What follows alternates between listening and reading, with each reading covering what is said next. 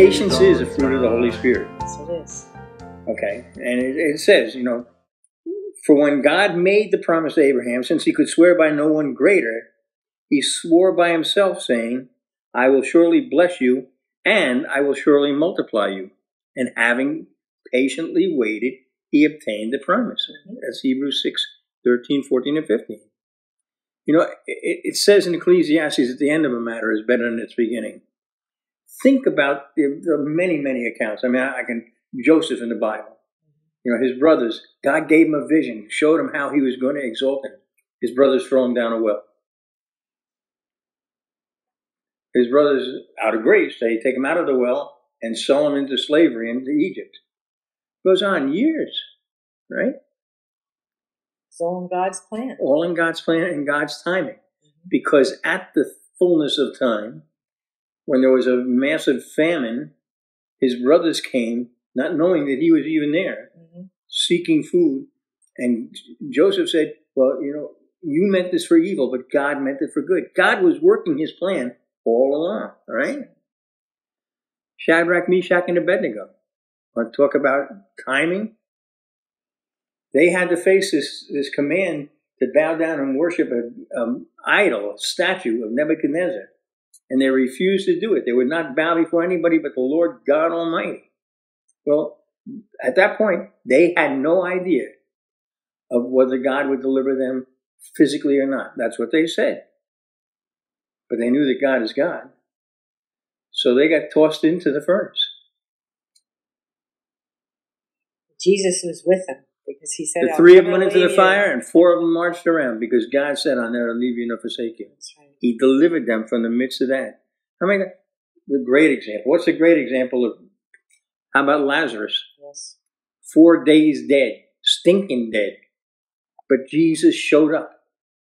He did. He didn't fail. It was his sense of timing, and you know what?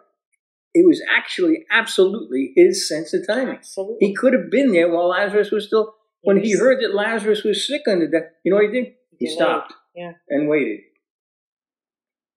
He had purpose in that to show when when his sister Martha, Lazarus' sister. when Lazarus' sister met Jesus on the way to the tomb, she said, "If he'd been here, he'd be alive today." I'm paraphrasing. That's what that's what he said. He said, "Well, there's a resurrection." She says, "I know that." He says, "I am the resurrection and the life." So he stood in front of that grave, stood in front of that tomb, and he cried out with a loud voice, "Lazarus, Lazarus, come right back to life!" And he said, "Come forth." God will never show up late.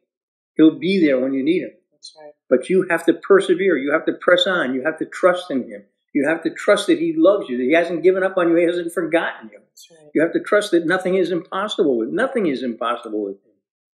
You have to trust in his plan. You have to trust in his sense of timing. It's not about you bending God to your will. It's about you bending to his will. When God first gave me this message years and years ago, um, and it's, that's a long story, so I'm not going into it, but I, one of the things that struck me, because at the time, there was a very famous television series. It was Star Trek the Mhm. original Star Trek, Captain Kirk and Mr. Spock and Bones, and, you know, and that that was a unique show at the time. It was it was a groundbreaking show, and I thought about the many times that ev virtually every single week, you know, something would go wrong with the ship. Should I do that? It was Scotty, the engineer, would say, "Captain, I cannot hold it together any longer. It's the dilithium crystals; they're shaking apart." The dilithium crystals are always shaking apart. There's always something going wrong with the ship. That's right. And of course, you know, if you've been saved more than a day, you know the Klingons were off the port bow. The enemy was there waiting to kill him. Because when, when the devil strikes, brother, it comes and it comes, all right? And yet, at the end of the show, the dilithium crystals held together, the Klingons had been dispatched, and the Starship Enterprise sailed off into the, into the galaxies to come back next week for another episode. So I'd say, why? You know, why? And the, you know, I've said this in churches, and I get the, I get kind of a blank stare. Everybody's thinking. Everybody's thinking about why. Yeah. It's so simple. It's in the script. It's in the script. That's why. And we have the We script. have the script.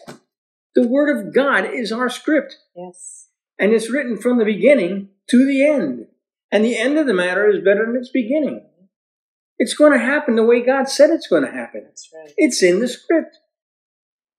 Hallelujah. We have to come to that place where we trust in that. That we trust in the love of God in our lives. And then you will persevere. You will have patience. You will have glorious patience. I hear a distant sound. It's getting closer